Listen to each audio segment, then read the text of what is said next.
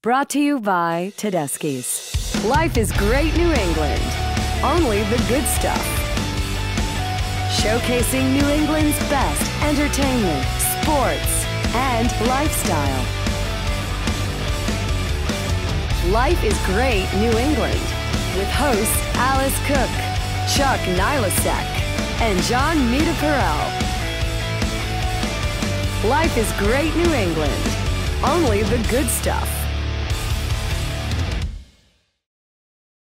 Victor, thanks for coming down here to the Plymouth area and being I part of the it. festivities. And Thank you very much for Uh, uh, being part of us. Oh, please. It's our pleasure, 100%. It's always nice when you see Budweiser out. Seems like it's part of the holiday season. You see the Budweiser commercials, and I know L. Knife, of which you work with, is a big part of the community down here. Oh, it's a huge part of the community. The Sheehan family has just stood behind so many local organizations the Boys and Girls Club, this Plymouth Parade. There's so much stuff that the Sheehans do behind the scenes that no one in this community even knows about. They're just great people. Well, I know that coming down to the area, you bring this traveling road show, and what's really the payoff? You hope that people just learn a little bit more about the art of brewing beer. Is it the idea of what Budweiser is involved with in terms of community involvement, or what's your end goal? We want people to think about uh, the next time that they go to a, uh local establishment to uh, think that uh, Budweiser could be a choice.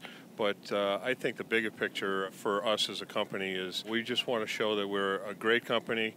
We bring something great to the community, and you know, over the week we've seen thousands of people just walk away with a smile on their face. And how can how can you beat that? Well, you know, one of the real cool things that uh, you guys have done is that they um, gave us a diamond. They said, hey, you know what, thanks for coming down. Life is Great New England. And they wanted to give us a gift, which was a diamond. And I think and it's, and it's not in the rough. this is this guy, right? This is diamond. All right, well, bring in Diamond. Look at the size of this. So the average Clydesdale will be six feet tall and 2,000 pounds. They can reach upwards of 20 hands and 2,200 pounds. What's the history of Clydesdales with Budweiser? Does anybody even know that, or am I catching you off guard? No, uh, the Clydesdales actually go back to 1933 to the repeal of Prohibition.